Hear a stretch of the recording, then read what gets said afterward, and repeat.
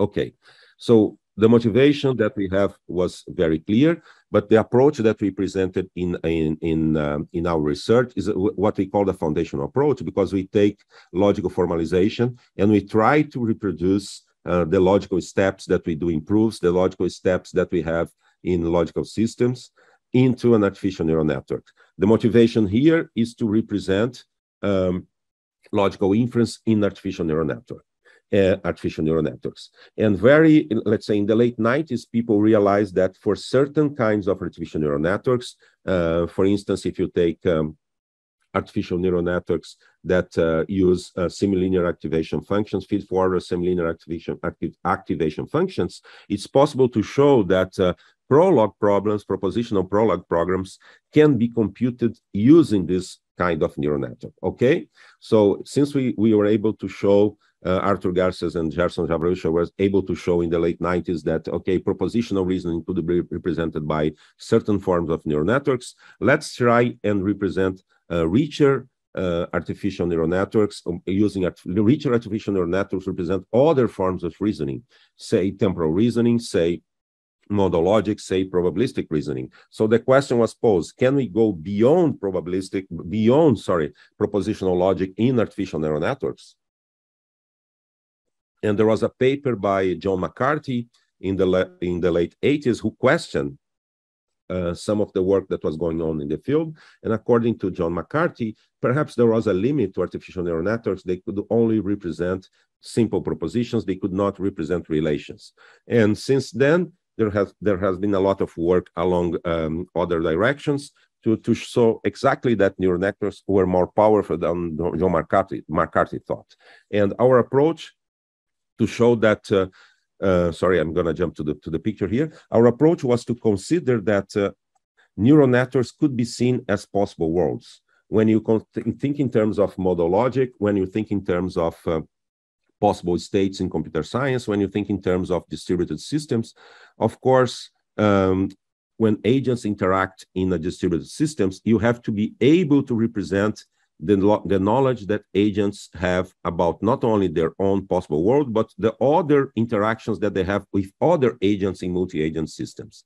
And in computer science, uh, there was um, a lot of development of applying modal logics, of applying other forms of, of logic to certain situations in multi-agent systems and certain test beds and certain benchmarks were uh, produced over the years. And what we did in our approach was, okay, let's see if uh, artificial neural networks are powerful enough to represent the logical reasoning that we have in multi-agent systems. Let's see if we can represent the way that agents interact in a limited uh, distributed systems. And let's see if it's possible to teach agents to reason about the knowledge that they are uh, absorbing in time and how and if knowledge can evolve in time and re be represented in artificial neural networks. So our inspiration was to use um, artificial neural networks as a representation of possible worlds and also to represent in ensembles in combinations of neural networks the knowledge of particular agents and in let's say by multiplying or by combining different agents and the knowledge of different agents, we could represent certain puzzles, certain problems that one confronts in distributed systems.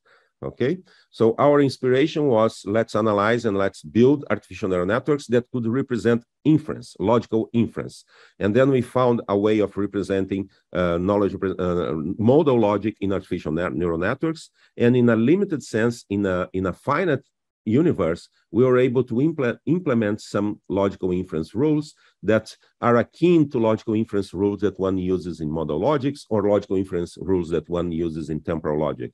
And in order to do so, what we had to do was to develop algorithms that would uh, plug the logical inference rules into the artificial neural network models. And for certain different uh, logical systems. Of course, you develop different artificial neural networks. And the, and, the, and the key here is to be able to represent the logical procedure by connecting the networks, by connecting the networks, by connecting um, the way that agents interact with each other using inference rules. So for each agent, we, we are able to train the neural networks that represent their knowledge, and we are able to train the neural networks with the logical rules that will provide that will present the inference. In that way, what we are doing here is to train the networks to reason. So the approach is learn to reason in time, learn to reason as knowledge evolves. And the proper logic that we found that we use in our test beds were, were modal logic because modal logic can represent, depending on the abstraction that we choose, you can represent, you can represent time, you can represent uncertainty, you can re represent the evolution of knowledge in time. That's a complex problem that uh, remains until these days right? So um, in terms of, of approach, we use you use a very simple language to represent uh, the knowledge. We use, for instance, um, a kind of a Prolog extended with modal operators. That's called modal logic programming. As you know, Prolog has been extended to several operators over the years and to represent uh, knowledge as well.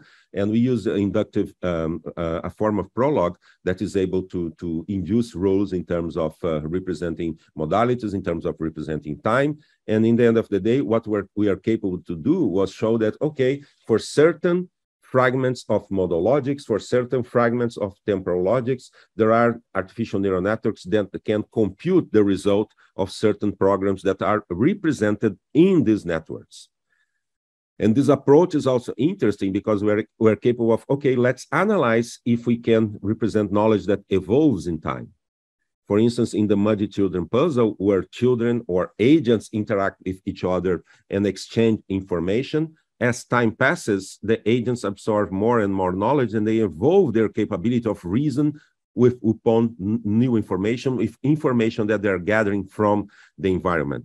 And the key idea here was, okay, was to show that this um, approach was useful not only for the typical test beds that one can find uh, in, in, sci in scientific papers, let's try and apply this approach to other domains. And in software engineering, one of the tools that is very well known these days in terms of software engineering research uh, are the tools for program verification and for model checking.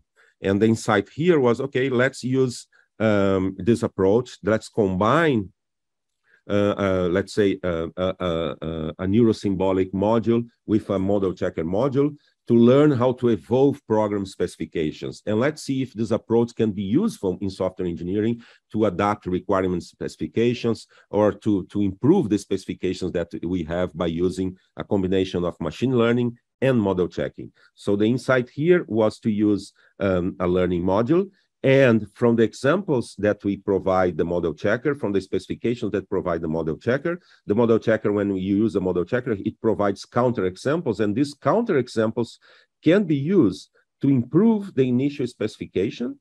And by combining machine learning and model checking here, one can use uh, the power of the model checkers actually to be uh, an adaptive system. So the, the outputs that we have from the model checker are counter examples of the specification, and these counter examples can be used in the in the learning procedure, can be used to train uh, the engine that we associate with a model checker.